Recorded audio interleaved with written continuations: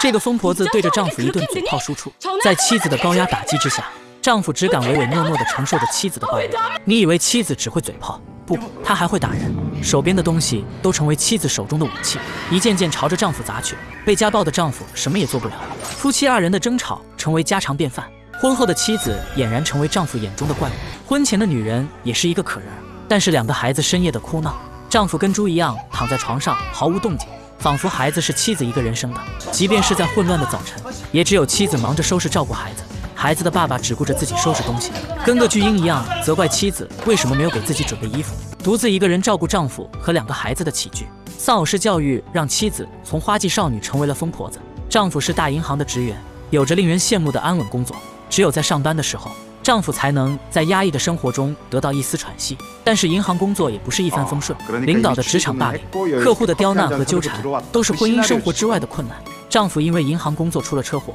在医院醒来的丈夫突然想到还没有接送幼儿园的孩子，原来早上上班之前，妻子嘱咐他今天一定要接孩子。丈夫已经能想象到妻子暴怒的嘴脸。打开手机一看，妻子发来一条条短信轰炸，用语越来越暴躁，一刻也不敢休息的丈夫急忙从医院跑回家，打开门迎面而来的就是妻子的暴打。类似的场景每天都在上演，妻子边打边讲述着自己的悲惨。原本自己上班频繁请假照顾孩子，已经引起了领导的不满。今天是美容院接待团体客户的日子，领导叮嘱好几遍不要请假，就让丈夫帮忙接一次孩子都不行。妻子怒吼，发泄着心中的不满。丈夫的工作是工作，难道自己的工作就不重要吗？和朋友聚餐的丈夫抱怨着要离婚，丈夫嫌弃地讲述着妻子婚后的变化。婚前害羞的妻子，现在却可以当着丈夫的面上厕所、吐痰，不修边幅的样子，连路边的大叔都不如。妻子甚至连饭都不给自己留，即便自己应酬喝醉回家，也得不到妻子的关心，还会因为怕吵醒孩子而把醉酒的自己赶到其他房间。